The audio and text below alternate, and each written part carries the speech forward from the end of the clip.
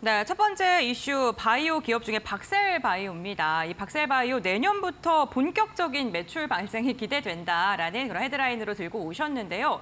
어, 쨌든이 바이오 기업들이 다양한 사업을 영위하고 있는 만큼 박셀바이오가 어떠한 사업을 집중적으로 하고 있는지 그것부터 들어볼까요? 네, 이제 박셀바이오라는 기업은 예, 항암 면역 치료제 개발 전문 회사입니다. 어, 면역 체계를 구성하는 주요 요소 중에 선천 면역 체계에서 가장 강력한 면역 어, 항암 면역 능력을 가지고 있는 NK 세포에 기반한 의약품을 개발 중인데요. 구체적으로 이제 항암 면역 치료 플랫폼, 항암 정음 면역의 강력한 역할과 암에 대한 선택성, 특이도를 모두 갖춘 항암 면역 치료제 플랫폼과 이제 다양한 면역 플랫폼, 아, 면역 세포를 활용한 면역 항암 치료 플랫폼을 기업, 보유한 기업이라 할 수 있습니다.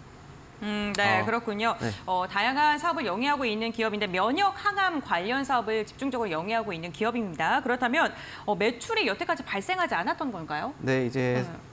박셀바이오 같은 경우에 네. 상장을 2020년에 했는데 그동안 별도의 매출이 발생하지 않았고요. 어, 네. 어, 이제 연구 개발이 지속되면서 영업 적자가 2018년에 28억 원에서 아 24억 원 죄송합니다. 2019년에 40억 원, 2020년에 34, 아, 43억 원, 2021년에 59억 원, 2022년에 82억 원으로 매년 증가하고 있는데요. 어, 이런 가운데 이제 내년부터 매출이 발생할 것으로 예상되면서 기대감을 높이는 중입니다. 어, 이제 박셀바이오가 그동안 이제 매출이 또 중요한 이유가 그동안 적용받았던 관리 종목 지정 조건 유예가 곧 종료되기 때문인데요. 음. 어, 아까 말씀드린 것처럼 이제 2020년 상장을 했는데 기술 성장 특례 기업으로 코스닥 시장에 상장했습니다. 어, 기술 특례 상장 기업의 경우에는 기술력은 충분하지만 자금이 없어서 연구 개발이 어려운 어려운 경우 이제 어, 상장을 네. 시켜줘서 자금을 확보할 수 있도록 도와주는 건데요. 네. 어, 이제 기술 성장 특례 기업의 경우 매출 30억 원 미만 그리고 이제 자기 자본 대비 법인세, 비용 차감 전 계속 사업 손실, 어, 법차 손이라고 하는데 이제 비율이 50%등 거래소의 관리 종목 지정 요건을 일정 기간 동안 적용받지 않습니다. 음. 이제 유예를 받는 건데요. 어, 상장 연도 포함해서 매출 요건은 5년 동안, 법차손 요건은 3년 동안 유예됩니다. 어, 2020년 이제 기술특례 상장한 박셀바이오의 경우 2025년부터 매출 30억 원 요건을 충족시켜야 하는데요. 어, 이제 이 요건을 충족하지 못하면 관리 종목으로 지정됩니다. 어, 네. 어, 관리 종목으로 지정되는 게 왜 위험하냐면 이제 상장 폐지에 좀 더 가까워질 수 있기 네. 때문인데 이제 이에 따라서 이제 박셀바이오는 내년부터 본격적으로 매출 확보를 위한 움직임에 나서게 되는 것입니다.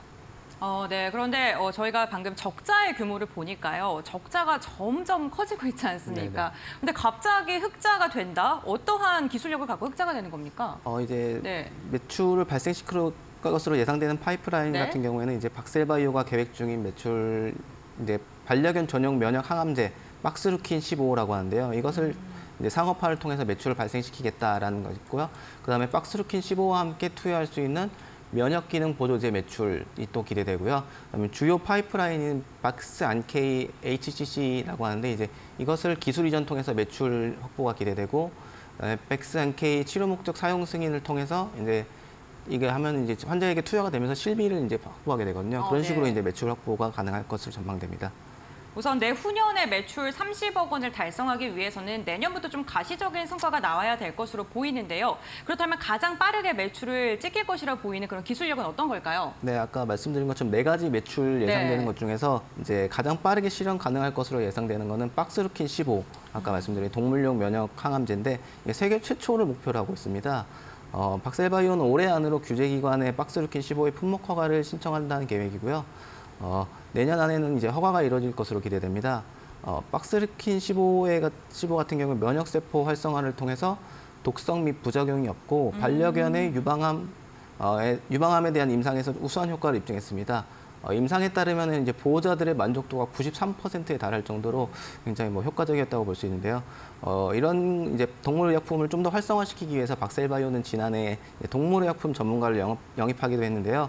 어, 이재일 전 전남대 수의학과 교수를 동물 의약품 총책임자로 영입하고 이제 동물 의약품에 대해서 계속 큰 기대를 하고 있는 것으로 볼 수 있습니다. 네, 어, 반려동물의 시장이 글로벌 시장 자체가 워낙 크잖아요. 그만큼 매출도 기대가 될 수밖에 없는데 그렇다면 매출액이 어느 정도로 지금 추정되고 있습니까? 네, 이제 박스루킨 같은 경우에는 이제 제약바이오 업계에 따르면은 글로벌 동물 네. 반려동물 의약품 시장이 2019년 102억 달러에서 연평균 6.2%로 음. 성장해서 어, 2026년에는 155억 달러까지 증가할 것으로 전망됩니다. 어, 특히 이제 반려견 중 한 4분의 1, 25%가량이 8살 이후에 높은 확률로 암이 발생하는데요. 아, 암, 암이 발생한다고 합니다. 어, 이제 네. 그래서 현재는 이제 동물 전용 항암제가 없어가지고 사람에게 투여되는 항암제를 이제 사용하게 되는데 이런 경우에 이제 사람에게 임상이 실험 진행이 됐던 거였기 때문에 어, 반려동물에게는 항암제의 효과가 낮지만 부작용은 또 크고 그런 식으로 이제 하기 때문에 전용 의약품에 대한 수요가 굉장히 큰 편입니다. 어, 이런 시, 이런 상황이 이제 비춰봤을 때 박셀바이오는 박스루킨 15를 캐시카우 역할을 담당하게 할 것으로 보이는데요. 어, 이재중 박셀바이오 대표에 따르면은 이제 내부 분석을 거친 결과 박스루킨 15를 통해서 매출액 30억 원을 달성할 것으로 기대하고 있고요. 또 이제 박셀바이오는 어, 박스루킨 15와 아까 말씀드린 것처럼 시너지를 낼 수 있는 반려용, 어, 반려동물용 면역기능 보조제도 음. 준비하고 있어 이 시기를 맞춰서 출시할 것으로 기대됩니다. 어, 시장이 정말 크군요. 2026년 155억 달러에 달할 것으로 보이는데 세계 최초로 면역 항암제, 반려견 전용으로도 만들 예정이다. 어쨌든 미래가 좀 기대가 되는데요. 어, 그 박셀바이오가 사실 메인 파이프라인 하면 NK 세포 치료제 네. 그게 제일 많이 언급되잖아요. 네, 맞습니다. 네, 이건 좀 개발 상황이 지금 어디까지 진척됐습니까? 네, 이제 동물의약품은 사실은 매출을 위한 부분이기도 하고 네. 본 사업은 이제 NK 세포 치료제 말씀해 주신 네. 대로인데요. 이제 NK 세포 치료제 Vax NK는 이제 진행성 간세포암, 진행성 췌장암, 소세포 폐암 등 치료 목적을 아, 치료 적응증으로 개발 중에 있는데요. 어, 이 중에서 이제 진행성 간세포암 적응증 연구가 가장 빠르고 많이 진행됐습니다. 어, 11명의 진행성 간세포암 환자를 대상으로 했던 임상 1상은 완료됐으며 어, 20명의 환자를 대상으로 한 어, 임상 2 이상이 연구 종료를 앞두고 있습니다. 네, 그렇군요.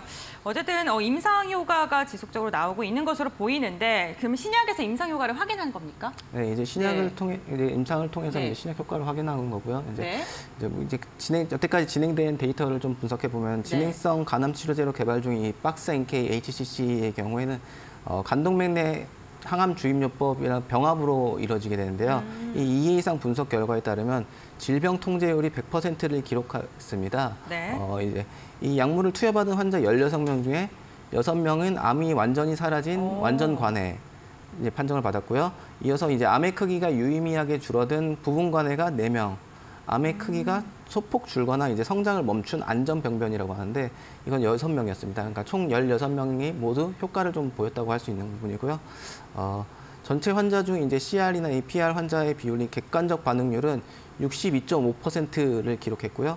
어, 박셀바이오에 따르면 진행성 간암의 표준 치료제로 현재 사용되고 있는 단독요법은 객관적 반응률이 약 30% 정도인데 정도고 소라페닙의 경우에는 약 10% 수준입니다.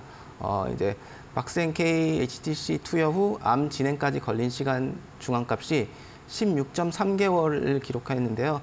이것은 이제 아까 말씀드린 기본, 기존 치료제 대비 연장된 모습을 보여준 음. 것이라 할 수 있습니다. 네. 어, 이제 박셀바이오의 다음 목표는 이 백스NK의 빠른 상용화인데요.